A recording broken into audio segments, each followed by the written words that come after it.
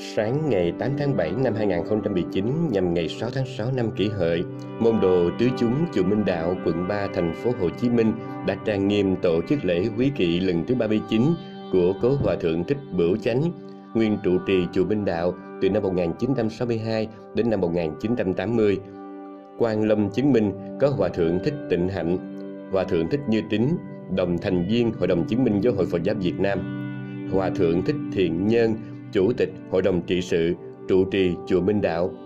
Hòa Thượng Thích Thiện Pháp, Phó Chủ tịch Thường trực Hội đồng trị sự, trưởng ban tăng sự Trung ương Giáo hội,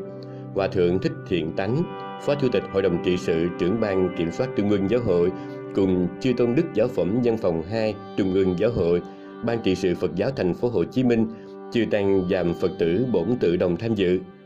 Chư Tôn Hòa Thượng chứng minh và Chư Tôn Đức Giáo phẩm Quang Lâm Tổ Đường – dân hương tưởng niệm dàm cầu nguyện đến giác linh cớ hòa thượng thích bửu chánh, cao đăng thượng phẩm quả chứng vô sanh. Thay mặt môn đồ, đại đức thích minh ân dâng lời tác bạch. Được biết cố hòa thượng thuộc dòng lâm tế gia phổ đời thứ 42 húy lệ hỷ, hiệu, bửu chánh. Ngài nguyên là trụ trì chùa Minh Đạo từ năm 1962 đến năm 1980 ngài có nhiều công lao trong việc trùng tu xây dựng chùa trong những năm Phật giáo và đất nước ở giai đoạn khó khăn và mới hình thành.